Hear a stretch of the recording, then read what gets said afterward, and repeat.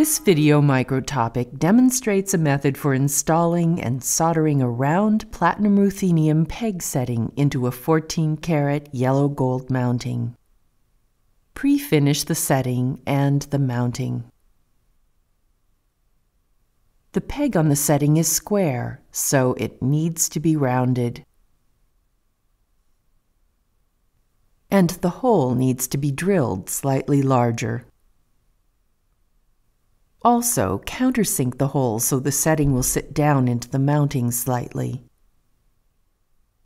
Then remove all tool marks and polish. Place the setting in the hole. It should fit snugly. Check that it is properly aligned from all directions. Preheat and apply Firescoff to the assembly. Then use gold soldering techniques to solder the setting to the mounting using 14 karat easy yellow gold solder. Allow the ring to air cool and place it in hot water to remove the Firescoff. Remove excess solder from inside the ring, blend the joint, and pre-finish.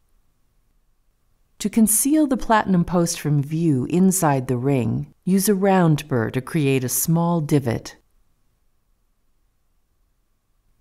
Using a laser, backfill the divot with 14 karat yellow gold. File, polish, buff, and clean. The ring is now ready for setting.